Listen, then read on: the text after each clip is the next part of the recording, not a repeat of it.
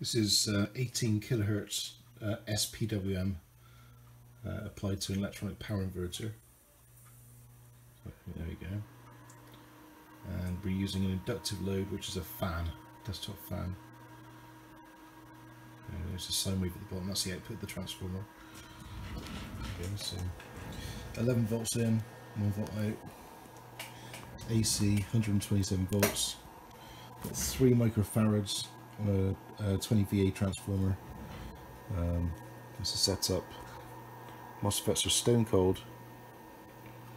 Transorbs are tiny bit warm, but not too not too warm. Fan's not running. Let's crack up the voltage. There you go. Fan's running. 172 volts. It's a waveform. Let's crack up to 240.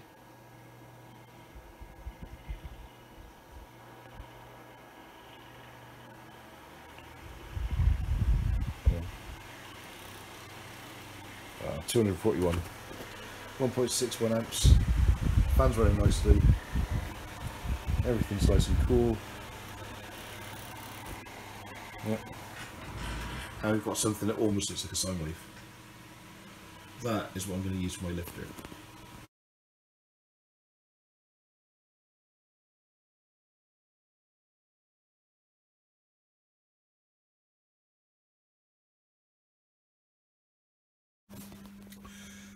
Right, this is an ESP32 uh, powered uh, electronic power inverter.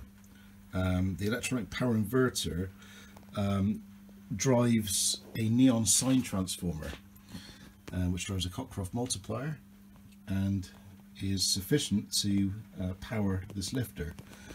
So the purpose of the um, inverter is to actually sort of drive the neon transformer um, and, and, and give more lifting power. So let's just turn it on. So my overall goal is to have one of these uh, inverter neon sign Cockcrofts for every single axis of a, a multiple axis lifter. So we go 65 volts, 69, it's about 12 volts in. Lifter, oh, so back off again